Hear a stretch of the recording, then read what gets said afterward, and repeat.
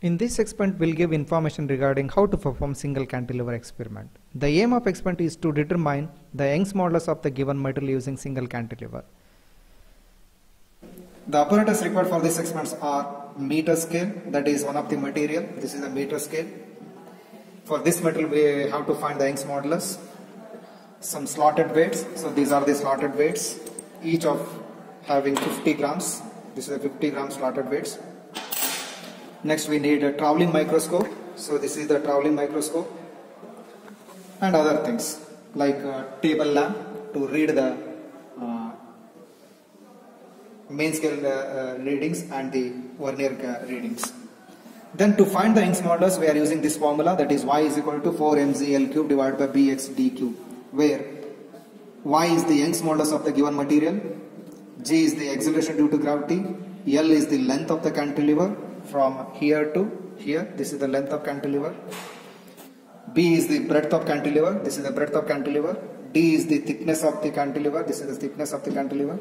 M is the applied mass. So at the free end, this is the what we are applying. This is the applied mass. And X is the diffraction at the open end. That is due to load. So this cantilever is getting diffraction. So that uh, diffraction can be measured as X. So this is the formula we are using uh, to find the Young's modulus in this experiment. So next, the experimental setups are, so this is the single cantilever experiment where the material that is a steel scale is taken as a material where the one end is fixed and other end is free. So therefore this setup is called as the single cantilever. To find the depression we are using this traveling microscope. Then in this experiment the observations uh, to find the value of Young's modulus we need all these observations. For example the breadth of the beam as B so which is which can be measured using the vernier caliper, calipers. However, in this experiment it is already measured and given for this material. This is the p value here we mentioned. This is the nearly 2.42 centimeter and take that value and write here. That value noted that value and write here 4.2 centimeter and convert this in terms of meters that is 2.42 into 10 raised to minus 2 meters and the thickness of the beam we can measure using the screw gauge however in this experiment uh, it is already given. This is the thickness of the given material. That is d is equal to 0.92 mm. Take this value and note it here. 0.92 mm. Mm means 0.92 that is 10 raised to minus 3 meter. Next l is the length of cantilever. That is from this fixed point to this free end so that is already, uh, the, that is also given. So here the length of the cantilever is given that is L is equal to 20 centimeter. So right here L is equal to 20 centimeter and can be in terms of meter we can write it as 20 into 10 raised to minus 2 meters. And anyway acceleration due to gravity is constant that is G is equal to 9.8 centimeter, 9.8 meter per second square. Then to find the diffraction we are using traveling microscope. So this traveling microscope has its uh, least count and that least count can be measured using the formula as shown here that is LC is equal to value of 1 MST divided by total number of VST. Then how to find this LC? So let, let me explain here. The value of 1 MST. So where this is the traveling microscope. So this is this is the scale. This scale is known as the main scale. So here it is running from 0 to 1, 2, 3 and so on up to 50. So this scale is, is known as the main scale and in addition to that, we have one more scale. So this is the scale. So this scale is considered as vernier scale. That is VST. To note on the VST, we are using this scale. Then to find the LC of this traveling microscope, the same scale is here also. We have here also the same scale. So just let me explain how to find the LC of this one. Either you can find the LC using this one or this one because both scales are same. Both scales are same. Then to find the LC, the formula is note down the value of 1 MST that is main scale division. For example here, so this is the main scale. This is the main scale. So this is the main scale. So to find the value of 1 MST, for example, I am considering here 0 to 1. This is the uh, main 0 to 1. So note down the value of 0 and next 1. Can count the number of divisions from 0 to 1. If you count this one, so we have total 20 divisions. From 0, this is 1, 2, 3, 4. Likewise, there are total 20 divisions are there between 0 and 1. We need the value of 1 MST. That is the what is the value of the first division to the next division. So this value we can get by that is total number of divisions between 0 and 1 is 20 then value of 1 MST can be noted as 1 divided by 20 so which gives the value of 1 MST because we have the total divisions between the main scale uh, 0 and 1 is 20 divisions. In that value of 1 MST is that is 1 by 20 at times. So that is how we can note on the value of value of 1 MST divided by the total number of VST so here we have VST this is a VST or you can take this one also. Either this one or this one. So this is the VST so if you read the value of VST starting from this arrow mark and count all the number of divisions from this arrow mark to the the last divisions. Suppose if you want if you want to count this one so i'll just count this one. This is one first arrow mark is the, from here to here we have one division two division three division likewise four five. Then from here we have 10 this is these are this is the 10 division likewise this is the 20 division 30 40 50 so likewise we have total number of divisions on the vernier scale is 50 divisions.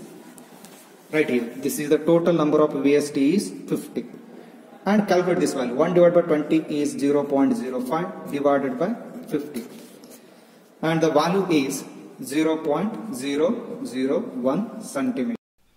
Next we'll explain how to find the value of Young's modulus. Uh, Young's modulus we need all these parameters. From the observation we can get D value, D value, L value and G value. In this formula only we need to find the value of mass and diffraction. So now we can find the diffraction as a function of load from the from this table. So this is the table we can find the we can determine the the diffraction produced in the single cantilever as a function of load as shown here. Okay, to get this one, so we have to set up the experiment as shown here. So this is the single cantilever, and now first point is is to set up the viewpoint of this whatever uh, whatever the uh, pinpoint that is needle of this one in the view of microscope. That is the first point we have to set up. So for that reason approximately place this traveling microscope in the view of that is the tip of this needle can be observed in the view of this microscopic view. So that is a first approximation first approximately we can uh, uh, get that uh, view of this needle in the my, Tolley microscope view then gradually by observing through the microscope so just this traveling microscope so that we can observe the that needle point in the traveling microscope view so now just adjusted. So this needle can be viewed through the traveling microscope here. So now it is, we can see clearly the inverted image of this needle in the traveling microscope view. You can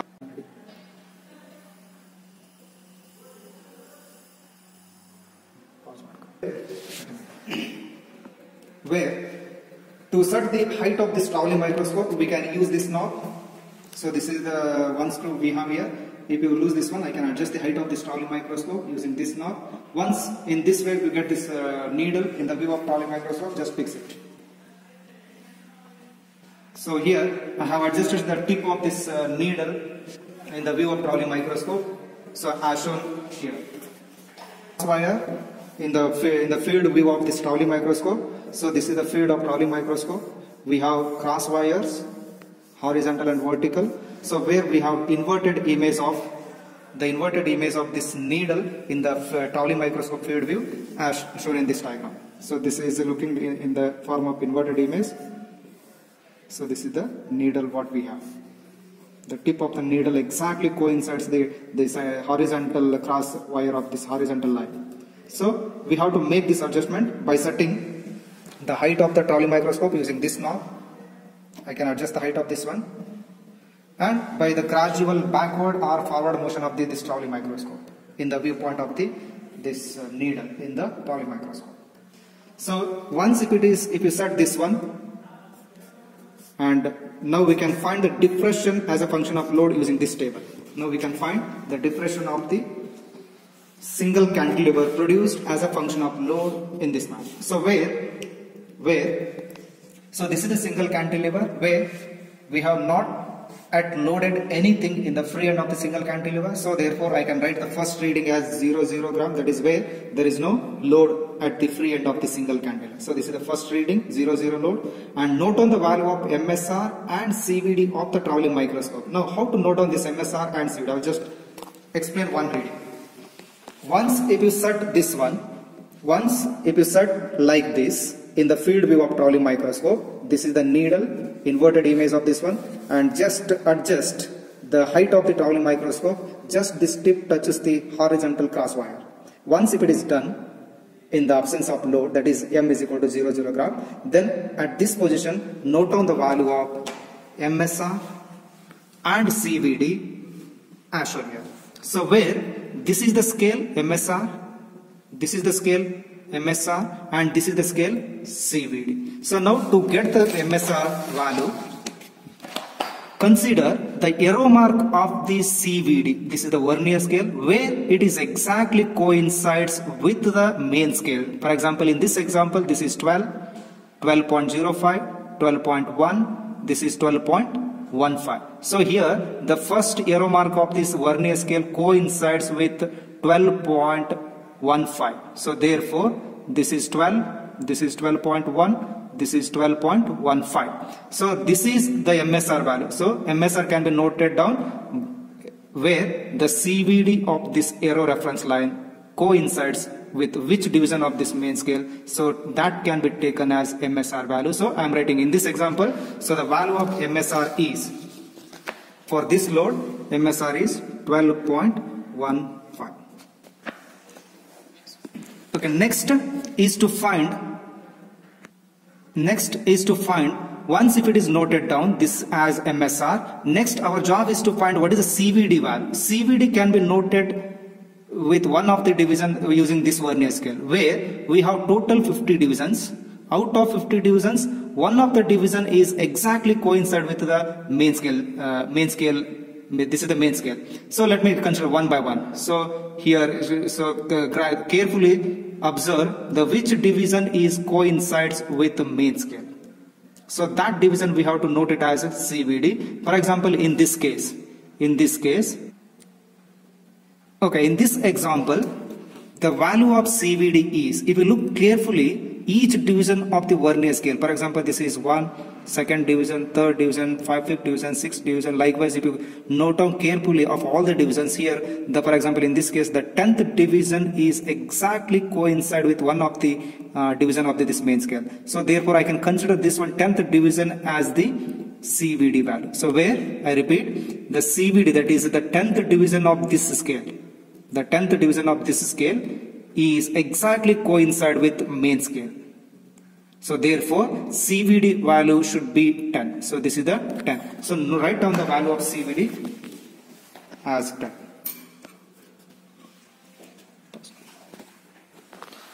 Once if you note down the value of MSR and CVD, calculate the total reading using this formula where total reading is equal to MSR plus CVD into LC. So I'll just calculate 1. So MSR is now 12.15 plus CVD is now 10 into LC is, so we already noted the value of LC as 0.001 and substitute.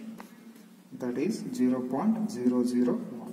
Calculate this value, you will get the depression of the single cantilever when the load is equal to 0. So you will have some value. So that value is the depression of the single cantilever when there is no load. Next, increase the load. That is, apply the load, for example, 50 gram at the free end of the single cantilever. So I'm loading. I'm applying the load of 50 gram. 50 gram. So when you apply the load of 50 gram, so we can observe that the single cantilever that is free and we have some depression at the pre end so that this needle will go downwards. So to find how much depression what we have without load and with this load. So to find that, now adjust the height of this traveling microscope by using this knob. That is by rotating this one, we can adjust the height now. So initially, in absence of load, here we have. Once you apply the load, say for example 50 gram, so this needle may go here, maybe upward. So to get again this needle to this horizontal cross wire, so we have to adjust. The height of the traveling microscope again it has to touch. Again it has to touch the horizontal cross wire of this one. So the, if you do so now we can we have to make adjustments such that the traveling microscope height that is the inverted image of this needle now has to touch the horizontal line of the cross wire. So to do that i am just adjusting this one the height of this one adjusted by observing the tip of the needle. Again it has to touch the horizontal line of this one. At this point at this point now note down the value of again as I explained the MSR value and CVD value and calculate the total reading. And similarly repeat the same procedure by applying the load for example 100 next apply the load 100 again adjust the height of this traveling microscope where the tip of this inverted tip image of this one can just uh, touch the horizontal cross wire. At that point, note on the value of MSR, CVD and total read. Likewise, you can repeat the same procedure by applying the different loads that is 150, 200, 250, 300. Likewise, we can note on all the readings that is MSR and CVD and corresponding total reading. Once if you reach the last reading, so where for example, this is my last reading for example this is the last reading I can adjust this one height by taking this one. So next we can repeat the same procedure for now load decreasing. This is the load decreasing and note on the value of MSR and CVD for this reading and write here the total reading. And now for the decreasing remove the load one by one again adjust the height of the traveling microscope note on the MSR and CVD and write the total reading next repeat the same by removing the loads. Likewise, we can remove the load by 50 grams intervals, note on the corresponding MSR and CVD and calculate the value of total reading. So this is for the load decreasing. So I repeat, so here we are increasing the load, here we are decreasing the load. So note on the total reading that is calculate the total reading for load increasing and decreasing. Then to find the diffraction, take the average of total reading increasing and decreasing. That is A plus B divided by 2 and calculate that and substitute the value here. And similarly repeat for the remaining readings. Once if you find this diffraction as a function of mass, next plot the graph of depression versus mass. That is 0, 50, 100, 200 likewise. And along the y-axis diffraction values. And note on the value, for example, when you have the load 0, note the value of depression and 50 gram likewise. So we can plot the graph. So as a function of mass the depression can be plotted like this. From this plot take the slope that is take the slope AB, ABC. From this plot we can find the slope. We can find the slope as AB divided by BC. Note on the value what is the value of AB and note on the value what is the value of BC and substitute here and you can find the value of slope. So this slope can be used to calculate the Young's modulus with a once if you note this slope that is AB value and BC value that is in, in terms of because we consider this difference in terms of centimeter and mass in terms of gram. So we need to convert that centimeter to meter and gram to kg. So where centimeter to meter just multiplication of 10 raised to minus 2 gram to kg that is multiplication of 10 raised to minus 3. So if you substitute these two parameters, we can convert the centimeter to meter, gram to kg. And take this value, this obtained value to determine the value of Young's modulus, where the formula is 4mgl cube divided by bx d cube, where 4gl cube divided by b d cube, where the slope gives, actually AB means, AB means this is the value of diffraction. BC means value of mass. But actually here in this formula we need mass divided by depression. From the plot we got x divided by m that is depression divided by mass. So to get that so this value has to to be in the or has to take in terms of reciprocal. So therefore we can substitute this 4 gl cube that is 1 divided by slope 1 where g is already known substitute the g value next l value is already given substitute this l value and b value is already given that is b value and next d value is also given and from this plot we can find the value of slope substitute here and finally we can find calculate the value of Young's modulus.